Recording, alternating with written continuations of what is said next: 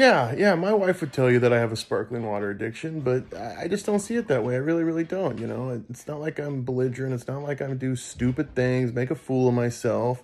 You know, it's it's not an addiction. It's just it's just what I want to do. You know, I if, I could stop anytime I want. It, it easy, easy. I just don't want to. That's you know that's all it is. And you know, it's it's better than pop. It's sugar free. You know, uh, she gets on me about burping and stuff, but I mean, you know, I, I just don't see anything wrong with it. I, I'm completely normal when I'm on uh, sparkling water.